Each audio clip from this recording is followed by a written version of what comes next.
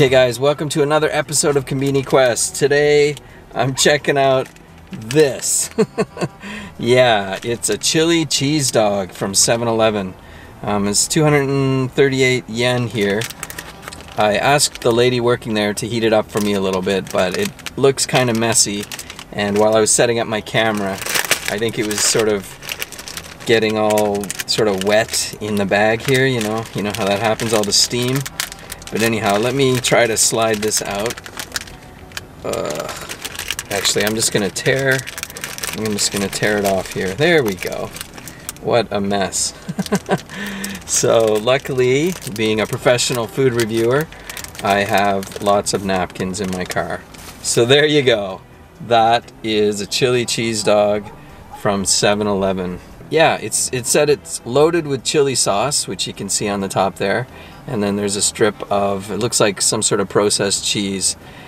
It's a little bit warm. I think it's cooled down a bit. And also when she asked me if, you know, if I wanted it heated up, I just said, you know, heat it up just a little bit because sometimes they kind of nuke it to death. So here we go. Mm. The uh, wiener has a nice kind of snap to it when you bite into it. That's kind of typical of a Japanese wiener. Mm. It has a kind of tangy, sort of chili flavor. Not like chili spice, but just like a big pot of chili kind of flavor. Mm. I'm not really getting a lot of cheese flavor on it, just because of all the chili going on. That's totally fine. Is this tasty? Yes. Is this better than a normal hot dog? Definitely. So would I get this again? Actually, you know, I would. This is actually pretty tasty. It's got a little bit of heat coming on there. Nice tangy chili sauce. The cheese, you know, whatever. It's there, I guess. The only thing about it that I would change would be maybe to heat it up just a little bit longer you run the risk of getting kind of hard bread, but at least your wiener will be nice and warm.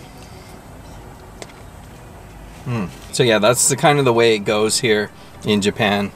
If you get a hot dog at a convenience store, it's usually just packaged sitting on the shelf like that. So as far as those types of things are concerned, this is actually pretty dang good. Okay, actually looking at the packaging again, um, I kind of just dived right in. Um, it says it's got like a lot of sauce and it also has four different kinds of cheese.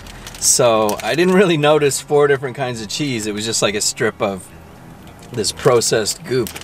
But it says it's got cheddar, um, parmesan, mozzarella, and cream cheese. so I guess that stripe was all those four mixed together or something. Whatever, that's not really a selling point, I guess. Well, maybe for some people, but um, I didn't really notice. And while I was in there, I also found some taco rice potato chips. So yeah, there's a big old picture of what taco rice looks like. And for those of you who have followed my channel, you know that I like taco rice. Basically what it is, is it's a taco, like the, the, the innards of a taco put on top of rice, essentially. There's taco meat, there's tomatoes, lettuce, cheese, and taco sauce. So hopefully these are going to be really good. Um, it's an Okinawan dish, but it's also kind of popular throughout Japan. I've never had it in potato chip form before. It smells like peanuts somehow. But yeah, there you go. You can see very, very coated in this colorful orange kind of thing. Here we go. Mmm. What a strange flavor. There's no way I would be able to tell that this was supposed to be taco rice if I didn't read the packaging. It smelled, like I said, it smelled like peanuts when I first opened it. It doesn't taste like peanuts. It tastes something roasted though. It has a sort of roasted flavor. But I'm not getting taco rice at all. A little tangy could be simulating the tomato or the sauce and a slight bit of heat, very slight. They taste okay, I guess, but I wouldn't say they taste like taco rice. So maybe the the people that designed this flavor were trying really hard to make it taste different than just taco. You know what I mean? A taco, sort of Mexican spice flavor, um, which it, it does have a totally different flavor than that.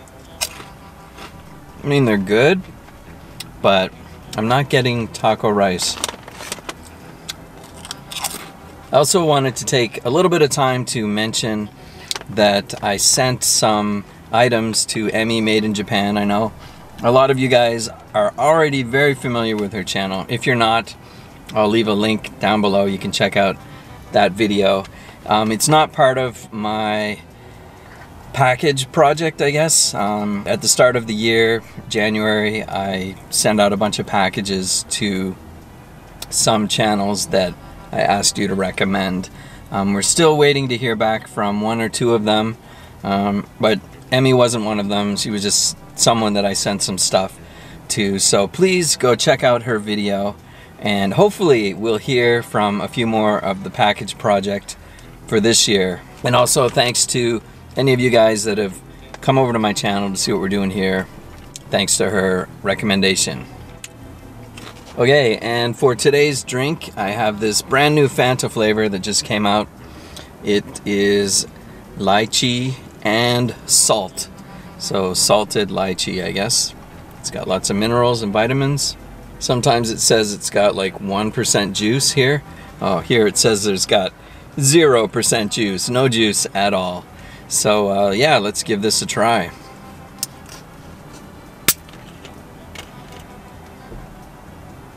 Ooh, it has a very lychee smell, as you would imagine. Okay, so I guess keeping it up with my tradition, I want to offer a toast to three more of my Patreons. So, Kampai, to Daniel Groth, to Roy's Mania, and to Beth Campbell. Thanks a lot for supporting me on my Patreon, and cheers to you. Hmm. It's a very, if you've ever had a lychee drink, or I guess if you've ever even had a lychee, it tastes like a lychee. Is it salty? Hmm it's helping to wash away the flavor of the taco rice chips, but I guess some lychee drinks I've had in the past are a little kind of syrupy, a little sweeter maybe. So this is going in a different direction. I'm not really just tasting salt, which I guess is a good thing. But again, if I didn't read the word salt here, I probably wouldn't notice that it was salty. It was just sort of a lychee flavor. Good, so tasty. So today's review, everything tasted fine. You know, I would, I guess I would try the hot dog again. This, I don't mind drinking again. The taco rice chips were okay as well. I don't know if I'd ever buy them again, but they were okay as well. And one last thing, which I guess will be my dessert later. I got some peaches that I did not get at the convenience store. I just dropped some stuff off at JD's place and his wife gave me these peaches. So I'm gonna enjoy those later on. So there you go, that's it for today's episode of Konbini Quest. Thanks for joining me and thanks for watching. Please hit that thumbs up button and we'll catch you guys in the next video. Música